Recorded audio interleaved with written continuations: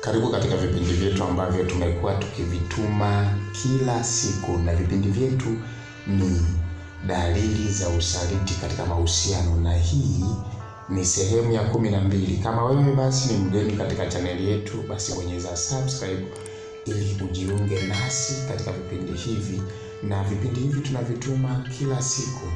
Health Life to You. Usikose vipindi hivi na usikose pia kushare na rafiki yako, kuweka hapo comment ili tuendelee kujifunza zaidi. atatende kazi. Dalili nyingine ambayo inaonyesha kwamba mpenzi wako anakusaliti au dalili ya usaliti katika mahusiano ni kwamba hapendi kuchimbwa na kuulizwa maswali kwa undani, yaani hapendi au anakuwa anachukia kumuuliza maswali kwa undani, na hata kama ukimuuliza sana, basi atakuwa na kujibu short na kukuficha, na pengine unaweza ukabaini kabisa kwamba huyu mbona hafurahishwi na maswali yangu.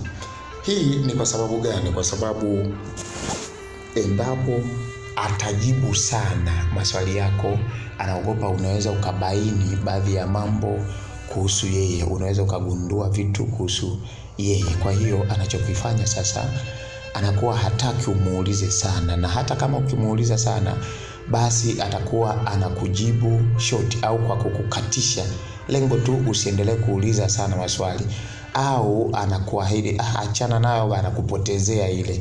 Kwa hiyo anakuwa anatengeneza ah, mfumo wa kukupotezea katika maswali unayomuulizia.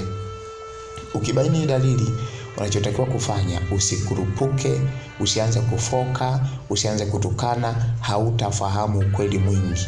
Ah, lakini wewe unachotakiwa kufanya, tulia, kuwa mtulivu, alafu mpe muda kwa kumfanyia research, utafiti uh, ili uweze kugundua ukweli, uweze kubaini ukweli, uweze kubaini ukweli, kwa sababu kuna mwingine anaweza kama na kujibu shoti hivyo, kumbe ni matatizo mengine tu ambayo yanamsumbua.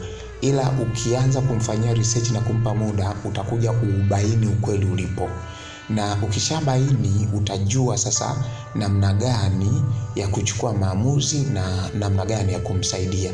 Na unapobaini ukweli huu usi, usi, usiwe na kukurupapara sana, usichukue maamuzi yale haraka sana, umeona maamuzi ya kuumiza. Hapana, chukua maamuzi ambayo ni chanya, lakini pia kwa msaada wa mtu ambaye unamwamini sana, unaweza ukamshirikisha kama hautaweza kuchukua maamuzi hayo wewe mwenyewe peke yako.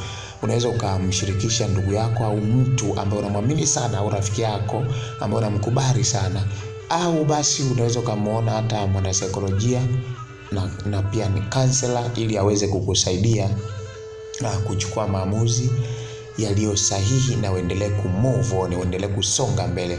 Uh, na hii dalili inawatesa sana watu wengi kwa kuto kujua. Kumbuka kwamba dalili hii au dalili hizi ambazo tunakuwa tukizituma katika vipindi vyetu, usipokuwa makini na ukawa unazibezea, yani unazipotezea, ujue kwamba unafanya mazoezi ya kuja kusalitiwa au unafanya mazoezi ya kuja kusaliti, yaani unafanya mazoezi ya kuja kuumia sana baada ya kusalitiwa, baada ya kubaini ukweli.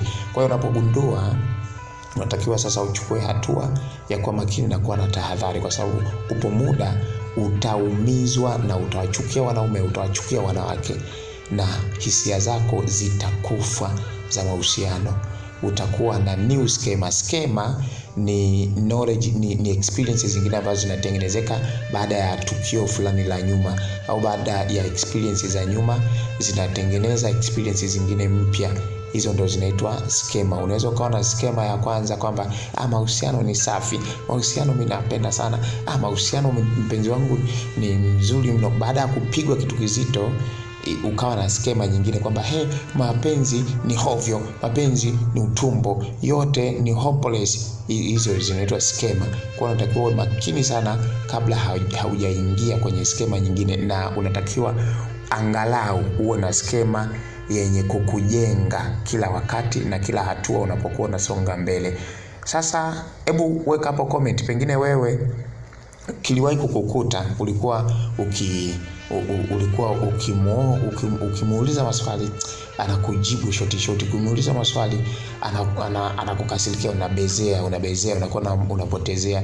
Siku moja likakukuta la kukukuta, ukamkuta na nyanduliwa, hebu tuandikie hapo comment ili tuweze kuona, na mimi nitakujibu na wengine pia wajifunze, ili tuweze kuappreciate wengine wanapokuwa wanaingia kwenye mahusiano, wasiripuke na milipuko ya mahusiano na hata wakajikuta wanaumizwa. Have life to you. Usiache kusubscribe.